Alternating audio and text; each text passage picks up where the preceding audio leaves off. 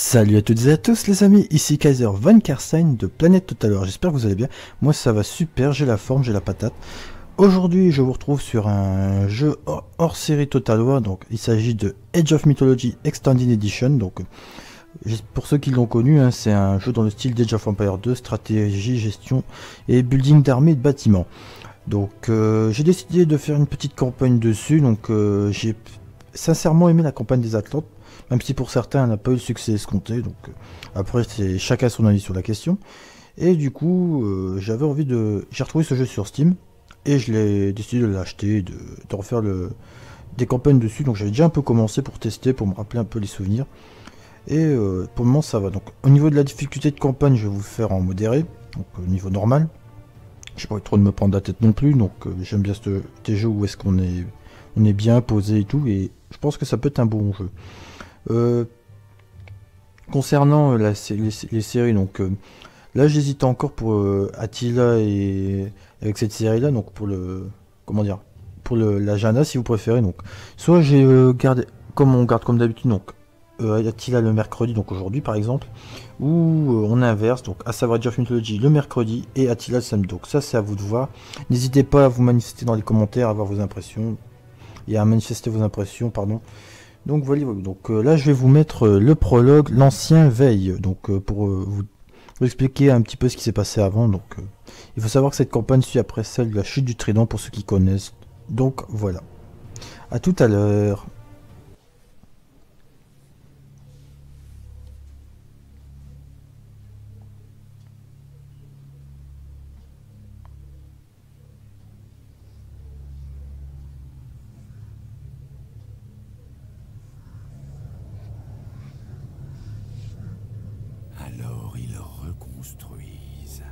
Qu'ils sont bêtes de se croire saufs, de penser que la fermeture de certaines portes met fin à tout, d'oublier que je suis encore là. Bien, c'est dans leur nature d'être étourdis. Même leurs dieux sont distraits. Zeus a oublié tous ceux qu'il a enfermés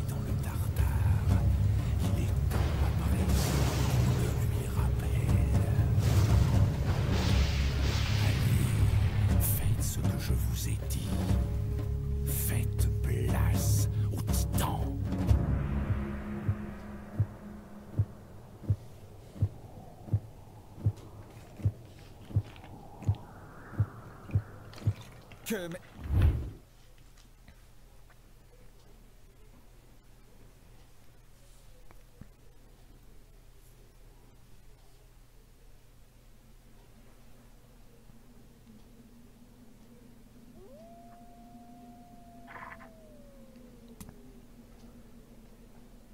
ne pouvons pas rester ici.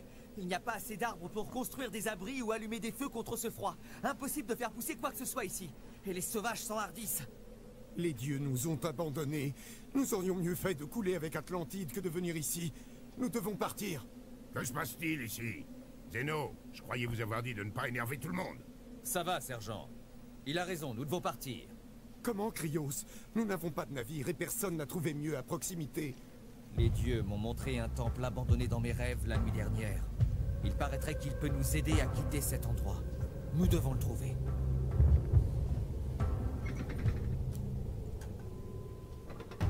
Donc voilà, donc apparemment on va devoir quitter cette île. Hein. donc, le premier objectif est, simple, former une armée de 5 myrmidons. Donc, le myrmidon c'est cette unité, donc euh, sont des unités d'infanterie efficaces contre la cavalerie. Donc, euh, voilà.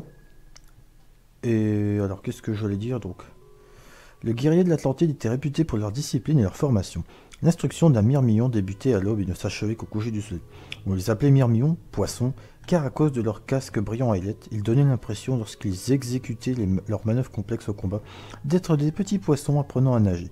Ils étaient les rivaux des destructeurs, qu'ils respectaient, mais qu'ils jugeaient inférieurs à eux. La même considération qu'un pêcheur pour ces poissons. Donc, les destructeurs, c'est ces unités, alors ils sont où? C'est cette unité-là en fait.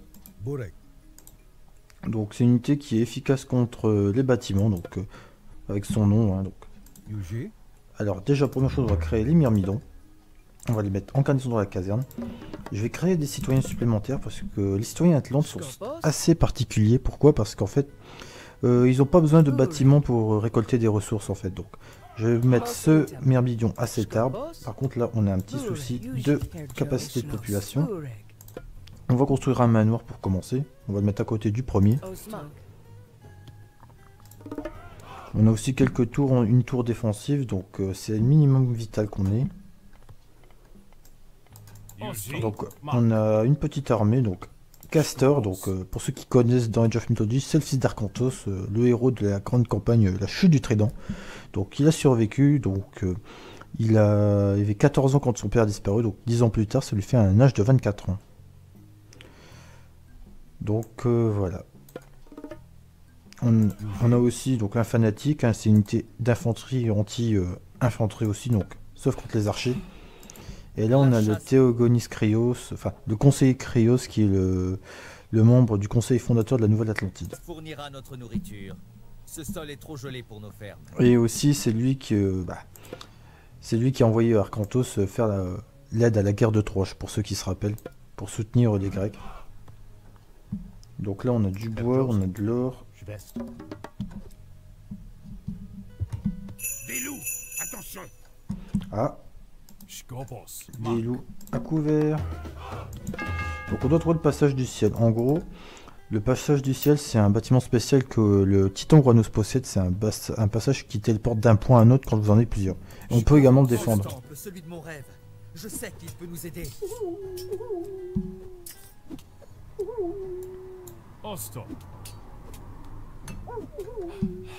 Donc là on a détruit les loups assez facilement. Donc là c'est réglé. Alors, retour, on va te mettre dans le bois, toi à la mine. Toi tu vas chasser avec ton collègue. Et toi pareil, à la mine. Donc on a une petite armée, on n'a pas trop d'unités malheureusement. On a 5 millions qui sont prêts. Donc euh, c'est une petite armée de base, hein, sincèrement. Euh, je pense qu'on va recruter davantage de myrmillons, donc on va remettre un et quelques archers pour commencer. Donc là la production elle est enclenchée. Ah, il y a un loup qui vient embêter le monde. Et apparemment, euh, donc le passage du ciel, je sais plus où il est exactement, donc on va essayer de, le, de se rappeler où il est. Alors que là mes chasseurs continuent de faire le taf. Hein. Hop. Vous savez qu'on a 6 millions déjà. Un arcus, donc c'est un archer si vous préférez. Je vais vous zoomer un petit peu, tiens, là-dessus. Euh, ouais. Le fanatique, lui, c'est, il est plutôt pas mal.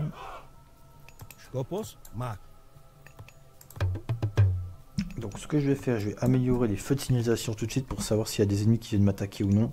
Ça peut toujours être pratique. Et là, je vais tout de suite améliorer mes archers pour euh, faire de meilleurs euh, dégâts potentiels et qu'ils aient un peu plus de points de vie.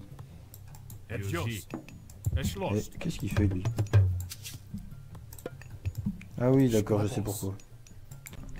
Donc on va, on, je disais qu'on allait explorer, donc on avance, hein, tranquillou. Euh, alors on est près de la mer, ok. Est-ce qu'on va essayer d'explorer la map au maximum hein. On trouve une mine d'or par ici, ok, parfait. Bon. Je pense que ce qui est bien, c'est que cette map, elle est... Oh, des hussards, attention Ils sont assez vulnérables au tir, curieusement. Donc là, par contre, ils mettent cher au corps à corps à mes archers. Ah, de la cavalerie qui m'attaque, parfait. Donc là, on va leur dire de se replier. On a le forum aussi, mais bon, méfiance. Et là, j'aurais eu mis Myrmillon, ça aurait été très utile. Donc on va laisser venir sur nos tours, hein, regardez. Lui, il est tout seul, il va pas faire long feu. Parfait. Donc là, on a repéré un des camps ennemis, donc il y a des hussards. C'est des casernes. Quelques hussards ici, c'est quoi? Ça, ça va être pas mal, ça. Le siphon de feu, c'est une arme de siège, en fait. C'est un, un, bélier lanceur de flammes, si vous préférez. Du coup, on va se reculer un peu et on va attendre notre euh, nouvel, nouveau jouet, qui est plutôt classe. Euh, ici, je vais renforcer les points de vie de mes bâtiments, ça peut toujours servir. Euh, je vais produire... euh, Enfin, j'ai déjà commencé à faire l'infanterie moyenne, ça pourrait être pas mal. Parce que vu qu'ils ont déjà l'infanterie moyenne. Et je ramène mon nouveau joujou. Donc là, je pourrais pas soigner mes unités malheureusement pour le moment. Allez, on va laisser faire le siphon de feu, il va nous aider à nettoyer. Par contre là, les miens sont améliorés. J'espère que j'ai pas attaqué trop tôt. Donc là ça va, lui ça recommence à craquer. Castor qui a une capacité spéciale d'envoler ses unités ennemies. Donc j'ai perdu un demi-million dans le tas. Donc là on va essayer de raser le reste des casernes pour affaiblir l'ennemi. Donc euh, Castor tu vas surveiller, tu vas venir aider aussi là. C'est dommage que j'ai pas plus de destructeurs que ça quoi parce que j'avoue que ça aurait pu être pratique. Alors là Castor, bam, bonjour. Et là on va raser ce petit camp. Allez, voilà. Bon là vous voyez ça va vite à le raser, hein. c'est des bâtiments scandinaves, c'est pas la plus belle architecture non plus. Excellent. J'ai un citoyen qui fait rien. Ah, plus de chasse. Oh attention, Burek. scandinaves repérés qu'ils attaquent. J'essaie de sauvegarder mon destructeur.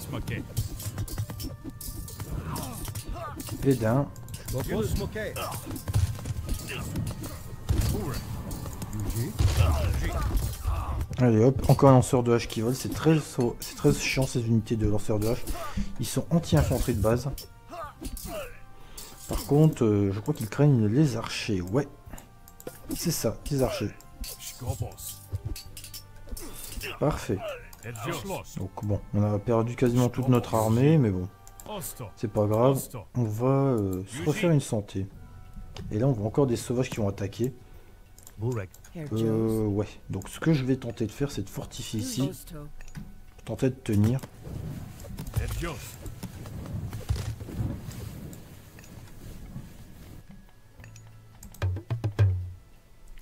Là, les tours de guet, c'est parfait. Donc là, c'est curieux qu'ils m'a- qu'ils m'agressent direct. Donc ça veut dire que leur camp n'est peut-être pas loin, quoi. Déjà, leurs archers sont en train de prendre cher. Et surtout quand Castor est, très sympa, hein, il envoie le- les unités ennemies littéralement. Je vais essayer de trouver le, camp des, du- des cavaliers rouges, tiens. Je sais plus où il est. Par contre, là, repli au bar, à la maison. Donc on a deux possibilités, ouais.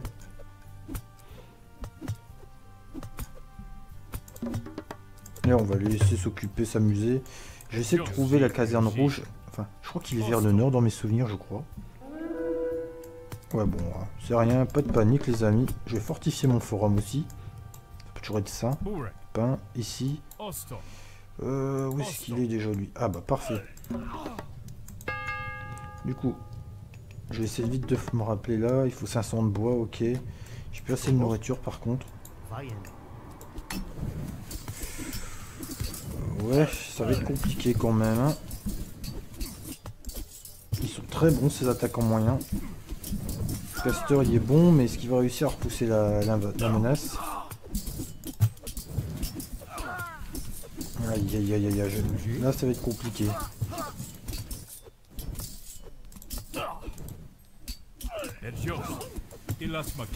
Ah, ils m'ont détruit mon arme, saloperie. Voilà, parfait. Allez. Bon, la bonne nouvelle c'est que Siphon d'air nous en a ra- rajouté un. Donc il va falloir euh, reconstituer nos forces. Donc les siphons, il va nous en avoir encore un ou deux, histoire de, de pouvoir mieux résister au... Et ce loup là qui, a rasé, qui nous a attaqué notre siphon de feu, cet enfoiré. Ouais, donc là on est plus assez fort pour, euh, pour le moment. Le siphon on va le conserver au maximum. Euh, du coup je vais essayer de passer à l'infanterie lourde. Histoire d'avoir des murmures plus puissants encore. Je vais construire ça. Et je vais me faire une armurerie aussi. Ça peut toujours servir d'améliorer ses armes, armure anti-tranchant, donc tout ce qui est épée, lance, etc. Et armes perçantes, donc tout ce qui tire. Là, je vais développer les architectes pour renforcer le nombre de points de vie de mes bâtiments. Alors que là, la nature nous est vraiment hostile en eau modérée. J'utilise plutôt Castor pour le moment. Pourquoi? Parce qu'il peut se régénérer. C'est toujours pratique.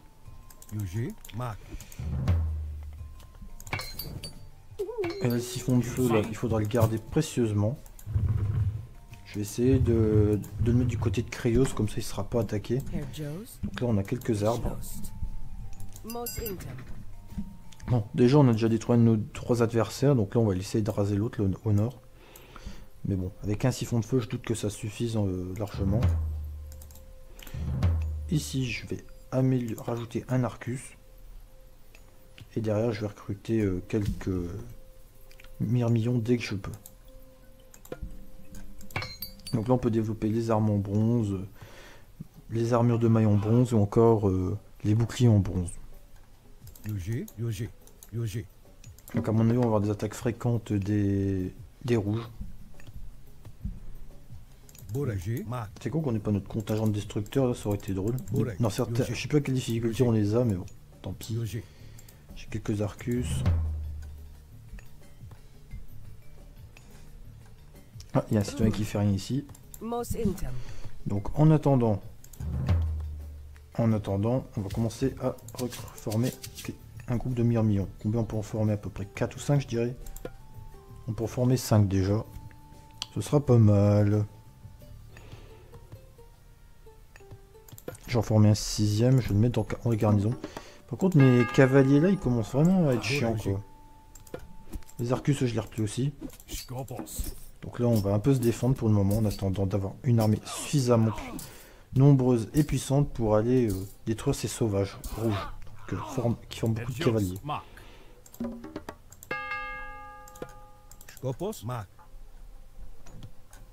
Donc là, on a quasiment plus beaucoup de nourriture. Ça risque d'être un peu problématique. Il faut vite espérer avoir un deuxième siphon de feu pour tenter d'aller détruire euh, cette- ce camp ennemi quoi. Et là, je vais former des archers lourds, tiens. Alors, on n'a plus de nourriture, ok. On a des caribous, enfin des élans si vous préférez. Ça devrait suffire, je pense, mais bon. Bon alors, il vient ce deuxième siphon de feu, oui ou non? Au moins lâcher qu'ils attaqueront pas comme on est protégé.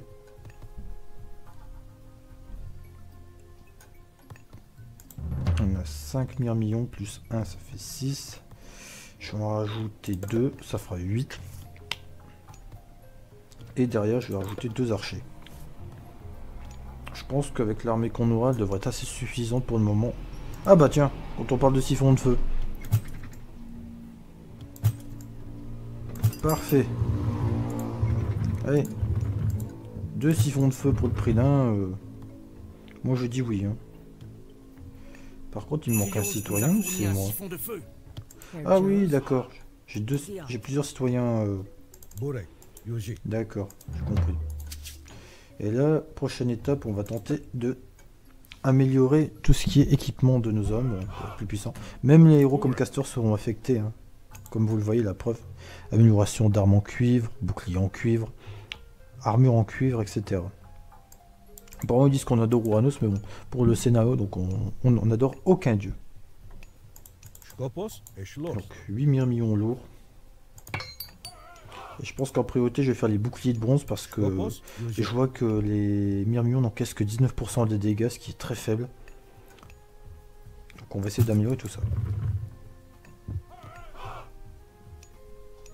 Allez hop, Yuji. Mark. 6 arcus, Ouais, 8 Marc. myrmillons. Allez, j'en fais encore deux et ça sera suffisant, je pense. Je vais essayer aussi d'améliorer leur euh, résistance au corps à corps dès que possible. Et pour ça, il faut les ressources. Ah, j'ai bientôt plus de place. J'ai bientôt plus assez de place de population. Il en est où, lui? Donc, ce que je vais Ouais. faire, je vais construire un troisième manoir. Avec les Atlantes, vous pouvez avoir des manoirs et non des maisons. Donc, ça veut dire que je- les manoirs sont plus grands déjà de une. Ils contiennent plus de population. Donc, un manoir, c'est 20 habitants. Donc, essayez d'imaginer qu'une maison, c'est 10 habitants, ce qui vaut largement le coup. Mais vous pouvez construire moins de manoirs, donc je m'explique. Vous pouvez construire 10 maisons de base euh, avec 10 de population, donc 10 x 10, 100. Et là, c'est 5 manoirs euh, maximum, donc 20 x 5, 100. Yuji, Voilà, ils n'ont pas voulu déséquilibrer, et heureusement d'ailleurs. Donc là, vous voyez, les murmillons Yuji. lourds sont passés de 19% d'armure à 27%. C'est pas toujours ça, mais c'est déjà mieux. J'ai quelques archers aussi là. Et je vais commencer à améliorer l'armure. Parce que les myrmillons sont des bons combattants contre la cavalerie. Et là, je vais ramener mon armée pour essayer d'aller les défaire. J'espère que ça sera largement suffisant. En plus, les siphons de feu sont très utiles contre les bâtiments, comme vous l'avez constaté. Ah, on m'attaque. Bah, j'ai bien fait, visiblement. Donc là, ma base, elle se fait attaquer, mais je pense que ça va être une formalité pour la repousser. Je vais développer l'huile bouillante, c'est pour permettre d'attaquer à la, base. C'est comme dans Age of Empire 2 avec la technologie des meurtrières, si vous préférez. Donc là, on va profiter qu'ils nous attaquent pour les massacrer. Bon, regardez. Oh, ma tour, ma pauvre tour. Et je vais aussi développer les pigeons voyageurs pour augmenter la visibilité de mes bâtiments. Ça coûte cher en bois, mais ça, peut, ça vaut le coup à long terme. Retour au, au travail. Donc, est-ce qu'il y a du monde ici Oh oui, il y a du monde. Allez, je vais dire euh, pendant ce temps à mes archers de faire attention. Là, les deux siphons de feu sont en train de s'occuper des maisons communales scandinaves. Ça va, j'ai eu aucune perte. Donc là, ce que je vais faire... Ah, il y en a encore une au. Parfait. Bon, on l'a d'une en moins. Avec nos arcus, ça devrait aller. Bon. Allez, hop. Le synchronisation de mes siphons de feu. Je vais un peu vous zoomer sur le combat, tiens. Hop. Bon. Voilà, parfait.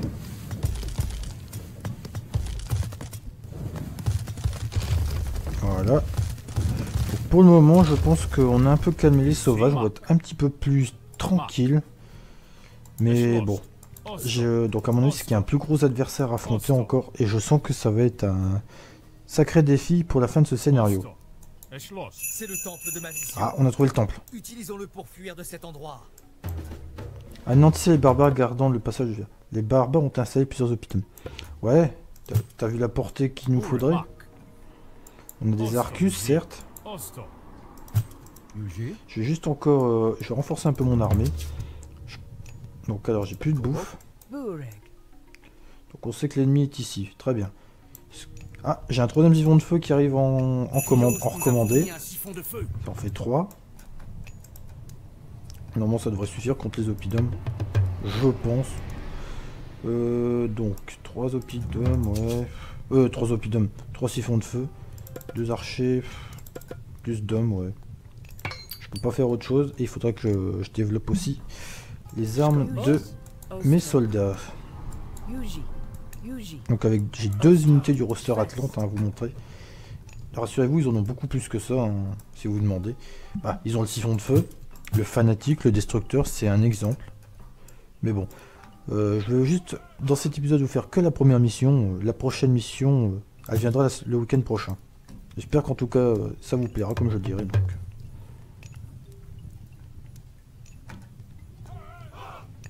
Deux millions lourds. Ce qui me fait peur, c'est leur lanceur de hache lourd, quoi. Bon, ils ont pas une bonne résistance au tir, mais bon. Ah Curieusement, mes siphons de feu attirent les loups, je sais pas pourquoi. Allez, hop. Dame Nature, c'est Poséidon, mais lol. Une petite vengeance, Poséidon, par rapport à l'ancienne campagne. Je sais pas. Euh, Qu'est-ce qu'on a encore? Ah bah DB, tiens. Allez cultiver, allez récolter ça, les gars. Euh... Ouais. Au moment, je peux rien faire d'autre. Hmm. Parfait. Donc on est bientôt à 300 de nourriture pour développer les armes en bronze. C'est parti.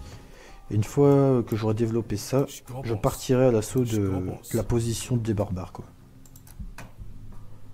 Je vais juste faire un truc pour le moment. Je vais explorer avec mes arcus. Parce que comme ils ont une longue portée, ça peut être pas mal. Alors, il y a des murs ici, ok. Donc, il y a une maison, une caserne ici. Ah, il y a des lanceurs de hache là. Mais qui lâché? Oh, Deus Card, attention.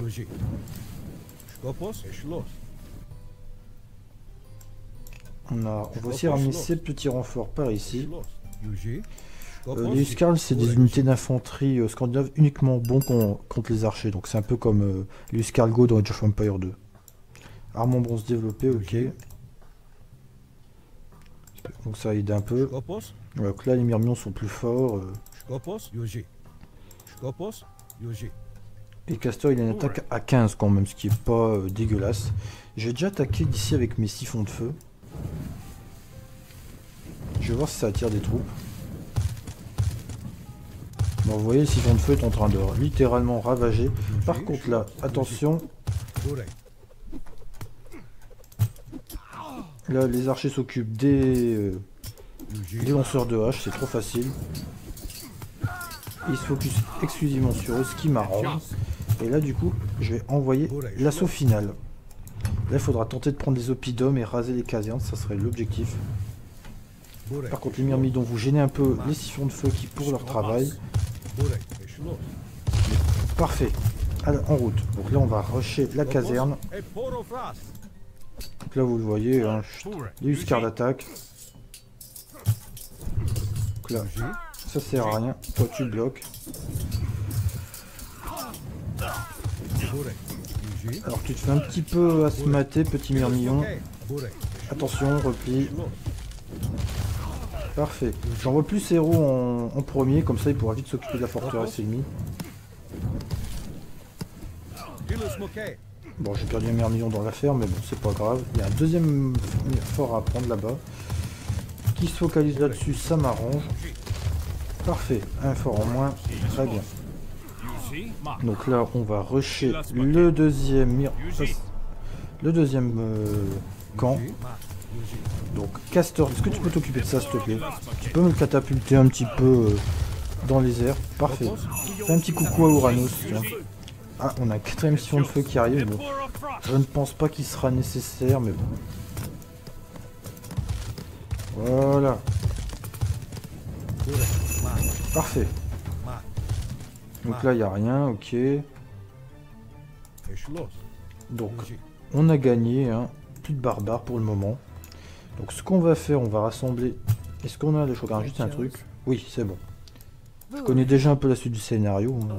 Je pense que c'est pour certains aussi, vous la connaissez. On va se rendre au passage du ciel, donc. Ce que je fais, je rassemble tous mes citoyens et on se, on se casse. Nouvelle migration enclenchée. Donc on va remettre tout ce petit monde ici. Regardez. Hop. Citoyens en route. Et puis 4 siphons de feu, je vous avoue, c'est pas la classe.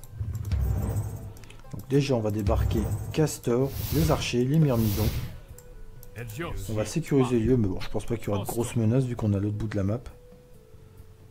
Donc là, c'est notre arme, c'est plutôt bien débrouillé, hein, je suis plutôt content globalement. Surtout que j'ai un peu perdu mon destructeur bêtement, mais c'est pas grave. Mais bon, ça devrait aller globalement. Allez. Là, il n'y a plus rien à faire, sincèrement. On a accumulé suffisamment de ressources. Je vais plus développer de technologie pour ce scénario, ça sert plus à rien. J'aurais pu faire les bâtiments de guilde, de la guilde économique, mais bon. Comme j'avais 6 citoyens, j'en ai pas eu l'intérêt. Je l'avoue honnêtement. Voilà. Ramène le quatrième vite, quatrième siphon de feu. On crée aussi un pont d'un cinquième. Parfait. Siphon de feu, il débarque. Pas très bien. Euh, vous allez vous mettre là. Vous, vous avancez. Par contre là, il y aura plein de ressources. euh. Parfait. Je vais pas reconstruire les temps tout de suite, je vais juste construire une colonie. Voilà. Parfait. Donc là, on est en train d'établir une nouvelle colonie ailleurs. Et évidemment, je dis à mon à mon siphon de feu d'attaquer ces animaux, sans raison. Et voilà. Fin du scénario. On a réussi à s'échapper de cette île et donc voilà voilà. Donc euh, ceci était la première mission de la campagne avec euh, les titans, la nouvelle Atlantide. J'espère que ça vous aura plu. N'hésitez pas à lâcher un pouce bleu dans la vidéo. Dites-moi si vous avez aimé en commentaire, ça fait toujours plaisir. euh, ou encore si vous n'avez pas aimé, pourquoi. Donc je pense que j'ai fait le tour. Et on est parti pour terminer cette campagne les amis. Salut à toutes et à tous, c'était Kaiser von Karstein de Planète Total War. Et je vous retrouve très vite pour de nouvelles aventures les amis. Au revoir